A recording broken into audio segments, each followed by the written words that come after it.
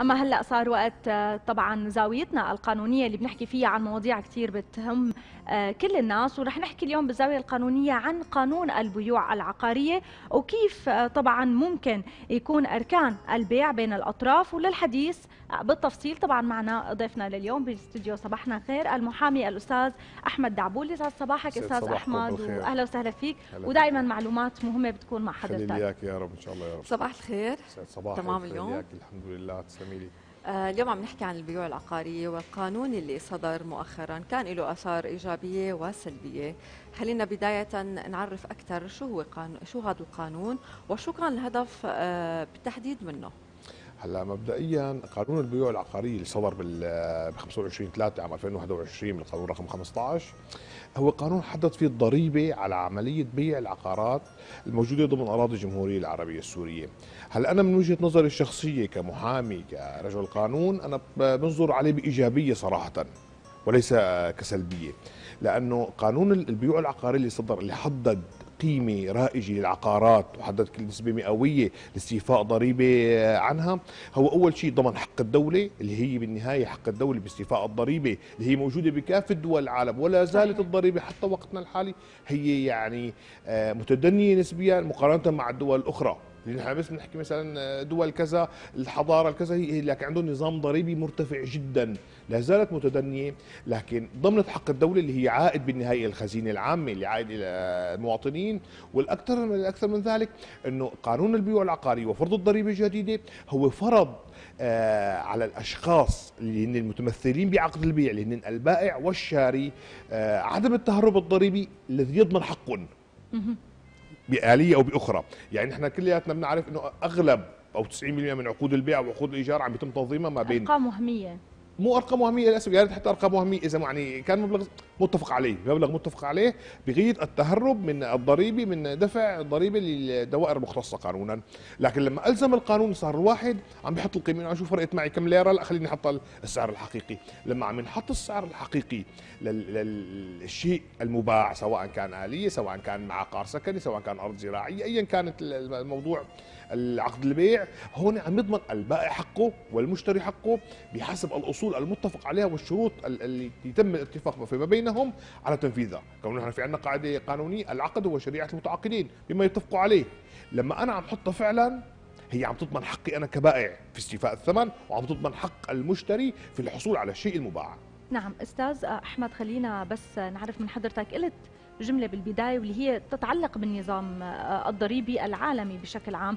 دائما لما الضرائب بتكون صحيحة أو مستوفاة الشروط بشكل صحيح هذا الشيء بيرجع لعملية تسهيل التسعير بالعموم صحيح. نحن بنعاني بشكل عام بسوريا بشكل كثير كبير من فوضى بالأسعار بسبب عدم الالتزام بالنظام الضريبي، عدم ذكر الأرقام بشكل صحيح، فبالتالي بنشوف بيوت لا تستحق هذا المبلغ. عم تنباع صحيح. بأرقام خيالية، حتى بموضوع الأجارات، يعني هذا انعكس تماما. بشكل ما أو بآخر على أجارات البيوت، صرنا نشوف بيت بمنطقة ما فيها المقومات مئات الألوف ولا يراعي، قد إيه بتشوف قانون البيوع العقارية ممكن يكون خطوة خطوة رح أقول خطوة ما رح أقول كل الحل. خطوة ب موضوع التسعير عنا بسوريا إن كان بالبيع أو إن كان بالأجار. هلا من حيث المبدأ أنا بعتبر القانون البيع العقاري خطوة يعني لكن شبه وهمية لكن منيحة. ليه؟ ليش؟ أنا القانون البيع العقاري لما حدد قيمة عقار سواء بعملية بيع أو بعملية شراء أو بعملية أجار هو حدد القيمة التخمينية تبعه حسب سعر السوق الرائج القيمة الرائجة. فلنقل تم تخمين منزل بسعر 100 مليون ليرة سورية. أنا كبائع أنا فيني أطلب فيه مليار ليرة سورية. لا شيء يلزمني بسعر محدد. بسعر. أنا هون فقط القانون البيع العقاري هو حدد قيمه رائجه وعم فعلا عم يجي أنا على سعر السوق الرائج. عم بيتم معرفة العقارات المماثلة شو سعرها؟ وعم يحدد على الأساس هذا عم يستوفي الضريبة. لكن هي ليست بغية تسعير أو فرض على البائع. هو صراحة إنه الفرض على البائع آه، ثمن معين هو بيكون شيء مخالف للدستور. لأنه نحن بنعرف إنه حق الملكية هو حق دستوري. مصان بالدستور الجمهورية العربية السورية اللي بيخولني أنا ثلاث حقوق حق الملكية حق استعمال استغلال تصرف. التصرف اللي هو بيندرج تحت البيع. الاستعمال بيدرج تحت السكن الاستغلال بيدرج تحت بإطار التأجير استثمار أو استثمار, استثمار. لهيك أنا الحق الأول اللي هو حق التصرف اللي بيخولني أنا دستوريا أنا فيني اتصرف فيه أنا ما حدا بيلزمني إني ابيعه أنا بحد متدني جدا وما حدا بيلزمني ابيعه بحد عالي جدا. الدولة بقانون البيع العقاري فرضت علي إنه ما عاد فيني ابيعه بحد متدني لأنه كانت هي الغية إنه التهرب الضريبي. كان نحط مستوى متفق عليه المبلغ 1000 ليره سوريه صار الآن في حد أدنى حسب تقييم آه، اللجان المختصة في الدوائر المالية القيمة التخمينية للعقار لوضعه لكن لم تضع حد أعلى لبيع العقار. طيب اليوم إذا أي شخص حب يبيع مثلا أي شيء بيت آه، محل عقار آه، بمبلغ متفق عليه بين شخصين. يعني بجوز يكون قرايبك بجوز يكون أخوك حابب إنك اليوم نعم. مثلا تخدمه بهي القصة. اليوم عم تكون الضريبة على هذا المبلغ أو تخمين آه، ضمن قانون البيوع. لا طبعا تخمين ضمن قانون البيوع العقارية. لكن قانون البيوع العقاري حتى راعى مسألة البيع أو مثلا الهبة ما بين الأزواج والأقارب الأصول والفروع راعى الشيء هذا. يعني إحنا بنلاحظ القانون اللي نوهت عنه رقم 15 عام 2021 هو حدد مثلا ضريبة البيوع العقارية 1% للعقارات السكنية. 2% للعقارات أو الاراضي ضمن المخطط التنظيمي المصدق. 1% للأراضي خارج المخطط التنظيمي المصدق. 3% للأسطح المتعلقة بالعقارات السكنية. بالنسبة للأصول والفروع مثلا الهبة تتقاضى نفس النسب اللي ذكرتها سابقا لكن آه، فيما بين الأصول والفروع أو أزواج يتم اختصاص 15% من الواحد بالمية يعني فلنقل نحن عندنا آه، عقار حقه 100 مليون. رح تكون القيمة الضريبية عليه مليون ليرة. مليون, مليون ليرة 15% فيما بين الهبه ما بين الاصول والفروع فهي بتطلع 150 ألف ليرة. راعى هالمسألة هي. لأنه كمان رح يكون يعني آه، بالشكل هذا كمان رح يكون في أسلوب تهرب ضريبي. هلأ للأسف التهرب الضريبي هو موجود. لا ما رح بكل دول العالم بمختلف الأنظمة الاقتصادية والم... يعني جدا. لكن إحنا خلينا نحد منه يعني هو خطوة فعلا صباغة وخطوة جميلة جدا للحد من التهرب الضريبي الموجود حاليا. طيب ما شفت كان في آراء كثير إنه هاي الخطوة ممكن آه، كان لها أثر سلبي إنه عملت كساد بالسوق العقاري يعني خف موضوع البيع والشراء آه، وارتفعت الأجارات والبيع الأسعار مثل ما حكينا. صار في كساد بالأسواق من وجهة نظرك القانونية؟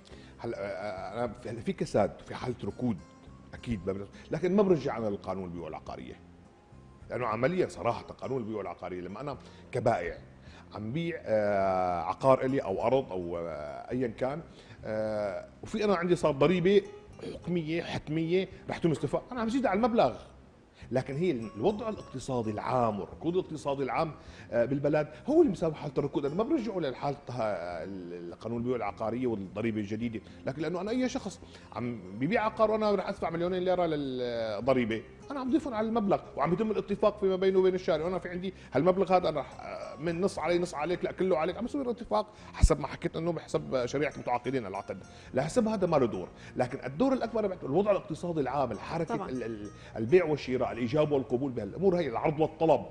هون هي متعلق فيه هي السبب الركود الاقتصادي اللي حاصل نعم يعني دائما عم نشوف عنا صاير بالفترة الأخيرة في مرونة بتعديل القانون واستصدار قوانين جديدة لتتماشى مع المشاكل خليني أقول العصر اللي عم نمر فيها. يعني مثل ما شفنا قانون البيوع العقارية وغيرها من القوانين اللي صحيح. صدرت بالفترة الأخيرة شيء بخص تعديل جنائي شيء بخص تعديل الأحوال الشخصية وهذا شيء كثير مهم لأنه دائما القانون ممكن يكون ثابت بفترة من الفترات ولكن بفترات الحروب نحن بحاجة دائما ليكون في عنا شيء جديد بالقانون. خلينا نحكي كنت عم تقول بما يخص آه، الهبة وغيرها. أيضا آلية البيع. حسب قانون البيوع العقارية بين الحصص الموجودة بالورث أو بين ما يسمونه آه، أيضا وجود ورثة. خلينا نحكي عن أسهم وما إلى ذلك. نعم. هلا أنا أبتدي من الفكرة اللي حضرتك حكيتي فيها أول شيء اللي هي التعديلات اللي جدا صايرة عم تصير بالقوانين. هلا رغم كثرتها وخاصة من العام يعني تقريبا 2013 ل 2022 عم بصير فعلا تعديلات بمختلف القوانين سواء كانت مدنية جزائية أحوال شخصية. لكن لا زالت تعديلات خجولة. كون نحن معظم القوانين عندنا مضى عليها يعني لا يقول مثلا قانون العقوبات العام 1945 قانون الأحوال الشخصية مستمد من الشريعه الإسلامية القانون المدني مستمد من التشريع المصري والتشريع الفرنسي. قوانين قديمة جدا. نحن هي القوانين بشكل عام. هي قوانين وضعية أي من وضع المشرع المشرع. السوري اللي هو عم بيواكب احتياجات المجتمع.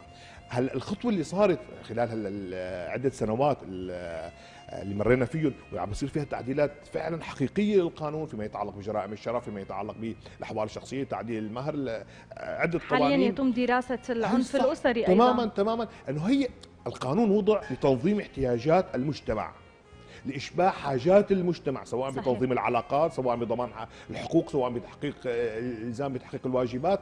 ما هو لازم دائما القانون هو بواكب المجتمع. يعني نحن ممكن نلاحظ نحن بكثير من الدول عم بتكون في عندنا حالة آه، لاقليه قد تكون. لا يتعدى مثلا 300 أو 400 شخص من الأصل 50 مليون شخص عم يتشرع له قانون. إنه هو قانون الإرهاب أيضا مثلا نحن ضمن الأزمة عملت في سوريا. صح هو قانون خاص لا يخضع إنه فعلا في جرائم قد ترتكب غير الجرائم التي ترتكب تخضع القانون العقوبات العام. بالفكرة الثانية اللي عم نحكي نحن عليها اللي هي مثلا الملكية. الملكيه نحن تكون عندنا عدة أنواع. عندنا نحن الملكية اللي قد يكون الشخص مالك لكامل العقار اللي هي 2400 سهم أي عقار موجود هو 2400 سهم مالك كامل. قد يكون مالك بطريق الشراكة هو شريك قاموا بشراء عقار صار كل شخص له مناصفة 1200 ب 1200 أو حسب بالنسبة ساهم فيها كل شخص برأس المال. أو قد تكون مملوكة ارثا. عن طريق الانتقال آه، من المؤرث سواء كان أب أو أم أو جد ايا كان آه، المؤرث هون بهالحالة هي آه، لها طريقة قانونية معينة لنقل الملكية وأوراق ثبوتية معينة اللي هي بتبتدئ من حصر ارث للمتوفى المؤرث لجهات المالكين. آه، من ثم يتم تحديد الملكية اللي هي عملية نحن بنسميها ملكية على الشيوع. كونه هذا العقار مملوك لعشر أشخاص. ثمان أشخاص لشخصين ثلاثة هو عقار على الشيوع. بيتم بعدين العمل على آه، إعطاء كل ذي حق حقه بحسب الأنصبة الشرعية والأنصبة القانونية الموروده له. وفي شخص يقوم بفراغ الحصة السهمية التي انتقلت إليه سواء إرثا سواء بالشراكة سواء بأي كان بالطرق القانونية وتثبيت أصولا. معلومات أكيد كثير مهمة أستاذ أحمد وكثير نحن بنتمنى دائما يكون في قوانين تضمن آه، الحق بين المالك وبين أكيد آه، البائع والمشتري وخاصة بالظروف اللي عم نعيشها كثره عمليات الاحتيال وهدول القصص يعني. فأكيد القانون اليوم ليحمي وتشرع أكيد ليقدم بنود بيندرج من تحت حماية المالك أو الشاري. شكرا لتواجدك اليوم معنا ضمن صباحنا لليوم وأكيد لنا وقفات ثانية بصباحات ثانية. شكرا لك أستاذ أحمد دعبول على كل المعلومات اللي قدمت لنا إياها.